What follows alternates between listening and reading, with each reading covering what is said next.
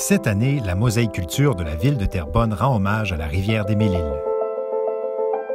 La rivière des Mille-Îles accueille de nombreux pêcheurs et constitue un site exceptionnel pour la reproduction des poissons.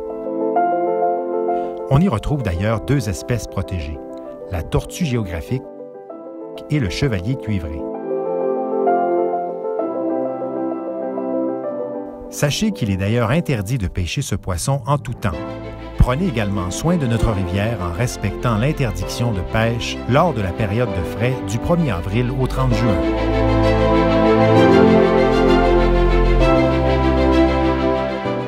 Merci à toute l'équipe d'horticulteurs passionnés de la ville de Terrebonne qui nous sensibilise sur notre richesse, la rivière des Mille-Îles.